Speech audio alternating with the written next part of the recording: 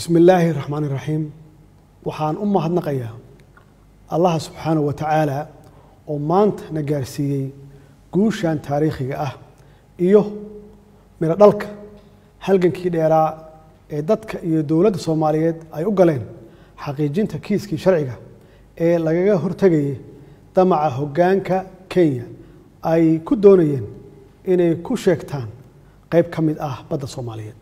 Wuxuu ahaa halgan caddaaladeed oo ku astaysan aragti fog aqoon durugsan dhiiranaan wadaniyad ilaalinta ammaanada ummadda iyo difaaca dalka iyo dadka. Waxaa guulaystay xaqa waxaa guulaystay sarreynta sharciga. Guushan waxaa leh shacabka soomaaliyeed oo mar walbaba garab iyo gaashaan u ahaa madaxdooda iyo dowladda ay doorteen. Mar walba oo ay shacabku ku midoobaan wadaniyadda una midoobaan difaaca dhulkooda. Waa kan maanta oo kale ah oo aan ku joogno guul noo soo wada hoyatay. Waxaan u mahad celinayaa maxkamadda cadaaladda adduunka oo u hiilisay sarreynta sharciga. Xukunkani waa astaan aad u qurux badan oo markhaati ka ah hufnaanta iyo dahfurnaanta maxkamadda i c j waxaa bogaadin mudan baarlamaankii sideedaad ee qaatay go'aankii aadka u qaraaraa ee taariikhiga ahaa kaasoo saldhig u ahaa guusha aynu maanta haysanno kadib markii ay laaleen heshiiskiis afgaradka ahaa ee kenya ay mar walba ku andacoonaysay iyagoo meel mariyey qaraar ay ugu magac dareen dhaxal dhowr waxaa xusid mudan doorkii sharafka lahaa ee uu qaatay madaxweynihii hore ee dalka walaalkii xasan sheekh maxamuud oo bilaabay geedi socodkii caddaaladeed ee lagu difaacayay badda soomaaliyeed ee ay sheegatay kenya. Sidoo kale waxaan ammaanaya ama aan ammaan u hayaa iyo bogaadin iyo sharafba mudan qareennadii iyo khubaradii soomaaliyeed ee u istaagay difaaca baddeenna oo ay ugu horeeyaan abukaati muna sharmaan iyo allah u naxariistee injineer maxamed cumar saalixi oo aad iyo aad uga haminayay ama hamigiisu ahaa inuu goobjoog ka ahaado ama u ahaado midhaha dadaalkii uu geliyey kiiskan. Waxaan idiin xaqiijinaya in shakhsiyaadkan aan xusnay ay baal dahaba ka galeen taariikhda dalkeenna ayna tusaale nool u yihiin jiilasha soo socda ayagoo ku sifoobay difaaca danaha qarankooda. Dadka iyo dowladda soomaaliyeed marnaba ma ilaawi doonaan. Xilkasnimadooda iyo hufnaanta ay muujiyeen. Gariiqaanadii iyo khubaradii dhanka sharciga ee shirkadda foli hog gaar ahaan qareennadii kala ahaa paul rishler professor philipi sandes professor alain pilet alina marino iyo ugu dambeyn edward caraven oo dowladda federaalk soomaaliya u wakiilatay matalaadda iyo jeedinta sharciyadeed ee dacwadeenna. Waxaa iyana mahadnaq mudan guddiga dowladda federaalk soomaaliya ee har iyo habeenba u taagnaa la socodka maamulka iyo isku xirka dacwaddeenna ee uu hogaaminayay ra'iisul wasaare ku-xigeenka xukuumadda mudane mahdi maxamed guuleyd khadar ayna ka mid ahaayeen danjirihii hore ee dalkeenna u fadhiyey ee bruxelles danjire cali siciid fiqi xeeraalyihii hore ee dalka abukaate axmed cali daahir iyo xeraalyaha haatan garyaqaan sulaymaan maxamed maxamuud qareen xamse ibraahim cabdulaahi danjirihii hore ee qaramada midoobe mudane yuusuf garaad cumar iyo danjiraha haatan mudane abukar daahir cusmaan abukar baale difaaca hantideenna qaran ma ahayn wax fudud. Markii la eego inaan nahay dad iyo dowlad la daala dhacaya duruufo aad iyo aad u adag kana soo kabanaya sanado badan oo burbur iyo dowlad la'aan ah haddana ku shaqeeya taageerada wadaniyad iyo isku duubnida ay muujiyeen shacabka soomaaliyeed.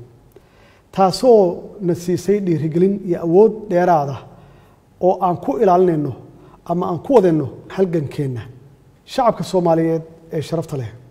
Mudanayaal iyo marwooyin tan iyo markii la i doortay waxaa nala soo gudboonaaday culaysyo siyaasadeed amni dhaqaale iyo diblomaasiyadeed oo hoggaanka kenya ay ku doonayeen inay ka leexiyaan dadka iyo dowladda soomaaliyeed dhabbaha ay doorteen oo ahaa in kiiskan aan looga hadlin meel ka baxsan maxkamadda cadaaladda ee adduunka.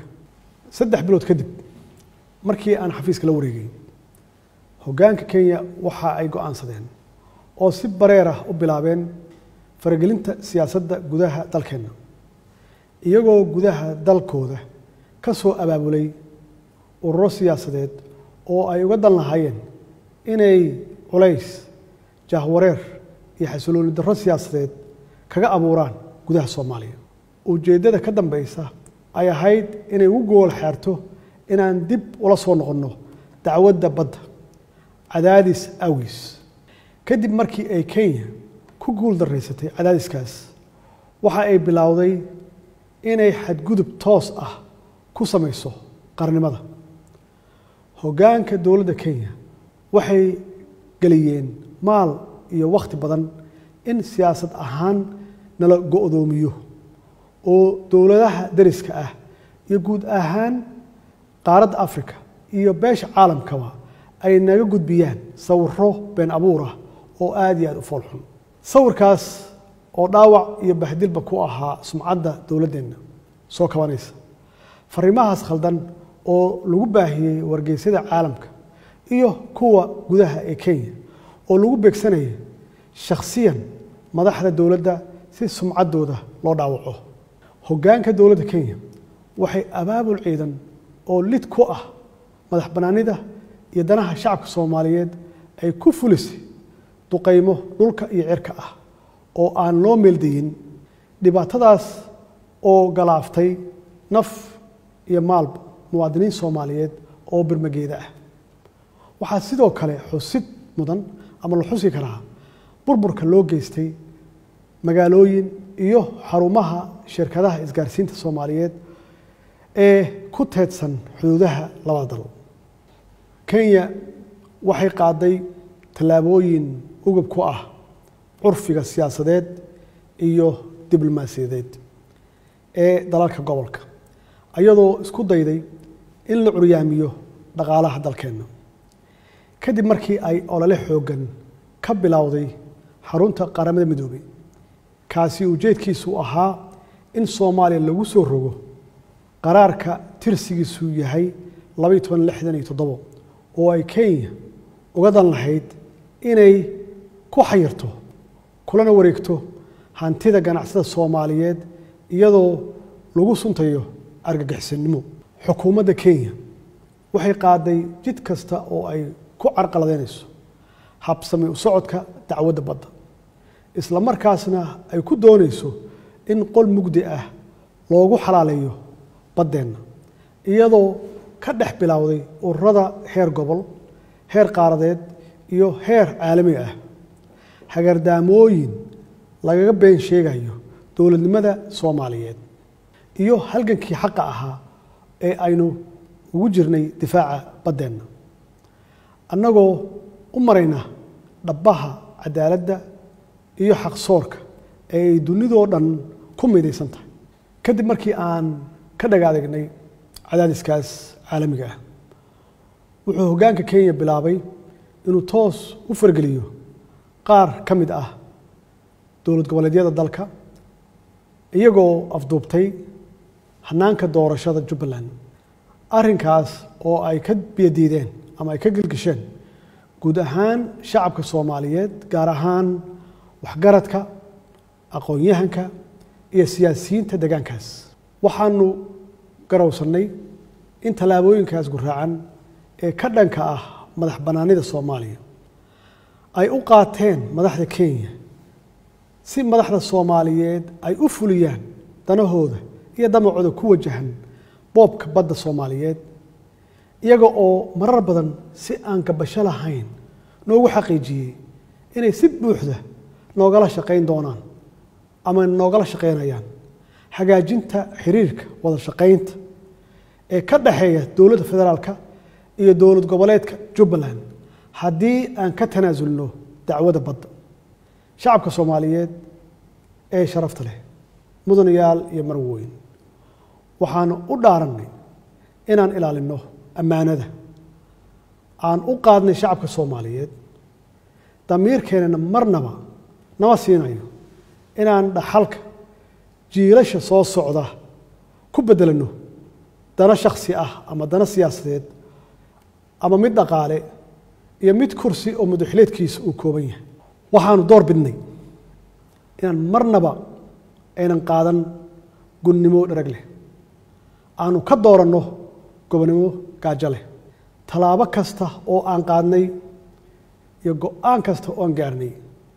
Waxaa halbeeg u ahaa ilaalinta qabka soomaaliyeed qaarnimada soomaaliyeed midnimada soomaaliyeed iyo sharafka dadka iyo dalka soomaaliyeed shacabka soomaaliyeed ee sharafta leh waxaa maragma doonta ah in cadaadiska iyo fargelinta qaawan ee hoggaanka kenya aysan ku koobnayn dowlad goboleedyada dalka oo keliya balse waxa ay marar badan si bareera isugu dayeen inay khilaafaad ka dhex abuuraan hoggaanka dalka dowladda federaalka soomaaliya iyadoo ixtiraamaysa shuruucda iyo heshiisyada caalamiga ah waxay caddaynaysaa inay u hoggaansamayso go'aanka maxkamadda. Annagoo ka rajaynayna dowladda dariska aan nahay ee kenya inay ilaaliso sarreynta sharciga caalamiga ah ayna iska ilowdo damaceeda ku salaysan marin habaabinta iyo boor isku qarinta taasoo beddelkeedana ay go'aanka maxkamaddu u aragto fursad lagu xoojin karo xiriirka labada dal iyo iskaashiga labada shacab ee deriska ah. Soomaaliya inay kenya deris la noqoto ma dooran. Ee allah awoodda leh ayaa qadaray. Waan isku qasbannahay inaan nabad iyo deris wanaag ku wada noolaanno. Soomaaliya taas ayay ku taamaysay weligeedna ka go-nayd haddana soo dhoweynaysaa. Shacabka kenya waa shacab wanaagsan oo nabad jecel. Waxaan rajaynaynaa hoggaankooda inay mudnaanta siiyaan sidii gobolku u noqon lahaa meel nabdoon oo barwaaqo ah.